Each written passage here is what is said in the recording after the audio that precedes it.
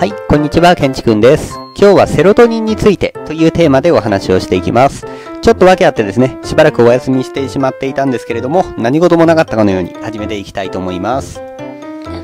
えーではまず早速、セロトニンとは何かということですけれども、通称幸せホルモンとも言われている物質で、えーございます。こちらの、えーどういったもの、えーどういった物質なのかと言いますと、精神を安定させて、ストレスを軽減する働きのある物質であるというふうに言われています。これがですね、不足してしまうと、うつ病ですとか、メンタルの不調にもつながってしまうというようなことが言われています。えーですからですね、ハッピーに生きていくためには、えー必要不可欠とも言える物質、えーと言っても過言ではないと思います。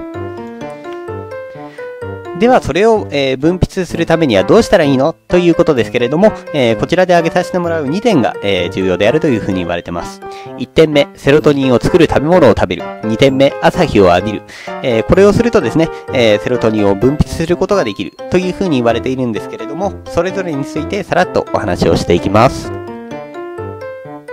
まず1点目、セロトニンを作る食べ物を食べるですけれども、セロトニンを分泌するためには、アミノ酸の、えー一種であります、トリプトファン、炭水化物、ビタミン B6 の3つが必須であるというふうに言われています。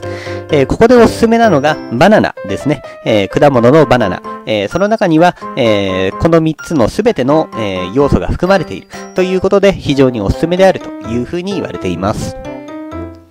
続きまして2点目、朝日を浴びるですけれども、セロトニンの分泌には朝日を浴びる。これが最重要であるというふうに言われています。えーこのですね、えーセロトニンは一般人にとっても、えーまあ、誰にとってもですね、ハッピーに生きていくた生きていくためには必要なものなんですけれども、特にうつ病患者の、えーためにはですね、えー特に重要であるというふうに言われています。例えば朝起きて、えー散歩に出かける、えーというようなことをするとですね、朝日を浴びてセロトニンを分泌することができる。というだけではなくて、えー運動することにもよってですね、えーうつ病を抑制することができる、うつ病の症状を軽減することができる。といったような意味で、え非常に効果が高いというふうなことが言われています。